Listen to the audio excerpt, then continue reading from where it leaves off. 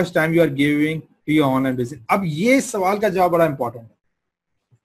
मैं आपको बताता हूँ मेरी रियलाइजेशन कैसी और ये जितने भी सवाल आ रहे हैं, ये आपने जवाब अभी अपने असाइनमेंट में पेपर के ऊपर लिखने हैं, ठीक है? सुकून से बैठ के लिखना है। ये नहीं कि कानों में जो है ना आपने गाने लगाए हुए या कोई टीवी चले या फेसबुक पे बैठा सुकून से साइलेंट माहौल के अंदर बैठ के इस सवाल, क्योंकि ये आपका कैरियर बिल्ड करेंगे। आपके ऑनलाइन फ़ील्ड के अंदर आपको आगे तक लेके जाएँगे right how much time you are giving to your online business right ये आपको होना चाहिए पता। मतलब मैं ये क्या था, जब मैं ऑनलाइन घर से काम करता था, शाम छह बजे बैठता था, रात दो बजे तक उठता था राइट छह घंटे हो गए। लेकिन कैन यू इमेजिन एक घंटे से भी ज़्यादा मैं काम नहीं करता था।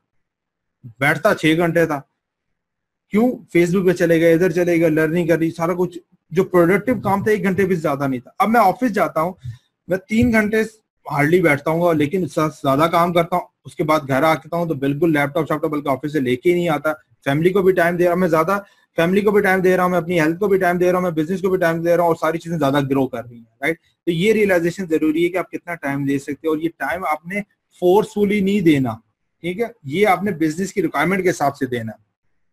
आप कहते हो मैं चार घंटे ऑनलाइन बैठता हूँ, चार घंटे में से आप कितना टाइम अपने बिज़नेस को देते हो या अपनी वर्किंग्स को देते हो राइट वो आप जब रियलाइज़ करोगे और कितना टाइम आपके पास है, अगर आप डे जॉब कर रहे हो, ठीक है तो आपके पास कितना टाइम दे सकते हो, या वीकेंड्स पे कितना टाइम दे सकते हो, ये आपको पता हो ताकि आप उसके हिसाब से वर्किंग कर सको। अगर आप ये कहते हो कि यार, मैं जो है ना, ये अच्छा ये सारी क्यों रिक्वायरमेंट है कि जब जब हम रोड मैप बनाएँगे ना आगे जाके ब्लॉगिंग का, आपने यहाँ पे कहा कि मैं दो घंटे दे सकता हूँ तो फिर जब आप ब्लॉगिंग का रोड मैप के ऊपर वर्किंग कर रहे हो तो फिर आप यहाँ से उठाओगे दो घंटे, वहाँ पे आप ये नहीं कहोगे कि मैं छह घंटे दे सकता हूँ। क्यों दे सकते हो? जब तुम्हारे पास छह घंटे है ही नहीं।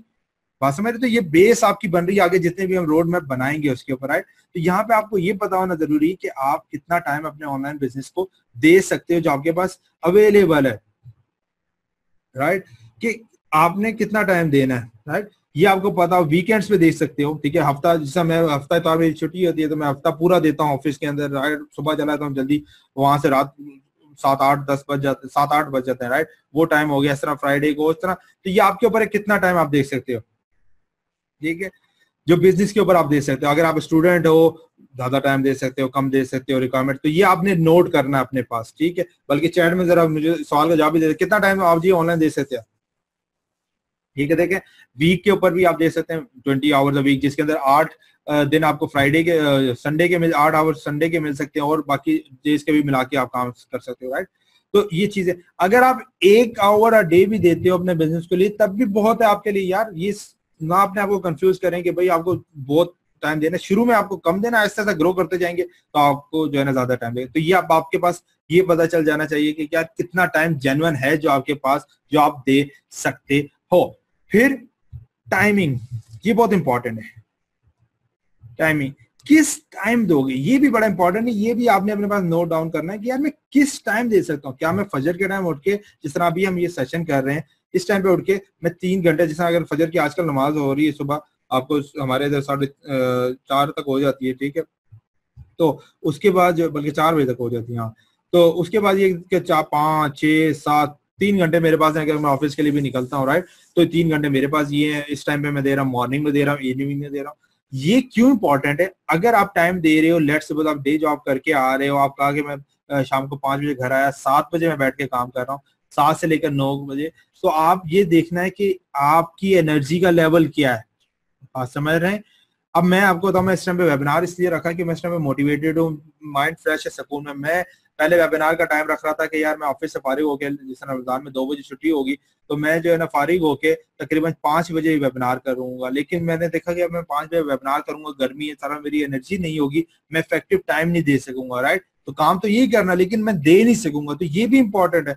कल जब आप जाके ब्लॉगिंग या किसी भी काम के लिए जाएँगे फ्रीलांसिंग या डिज़ाइनिंग का काम करते हैं डिज़ाइनर तो आपको माइंड फ्रेश चाहिए। तो क्या आपके पास टाइम है? उस टाइम में दे पा रहे हो? ठीक है ब्लॉगिंग कंटेंट लिखना है। तो क्या आपके पास ऐसा टाइम है जिसके अंदर आप कंटेंट दे पा रहे हो, लिख पा रहे हो फ्रेश होके लिख पा रहे हो? अब आप अगर आप कंटेंट वाले जितने भी ब्लॉगर्स हो तो मैं आपको ये सजेस्ट करता हूँ कि ये सुबह का टाइम है कंटेंट बनाने का। चाहे जिस तरह का भी कंटेंट यूट्यूब की वीडियोस या कुछ भी बनाना है आप सुबह के टाइम कंटेंट बनाओ, देखो कितना इफ़ेक्टिव आपका कंटेंट बनेगा और कितना आप अच्छा उसको बनाओगे। क्यों जी? बात सच है गलत है?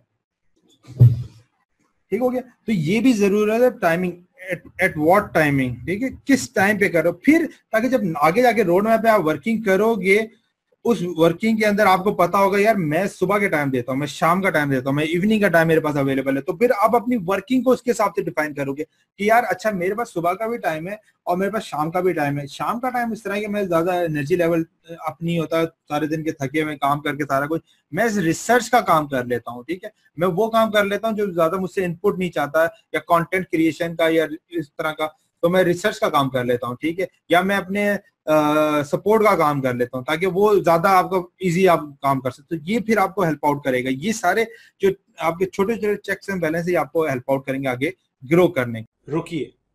उम्मीद है आप इस कंटेंट से बहुत कुछ सीख रहे हो। लेकिन ये आपको तब तक फ़ायदा नहीं पहुँचा सकता जब तक आप इसको इम्प्लीमेंट ना करें।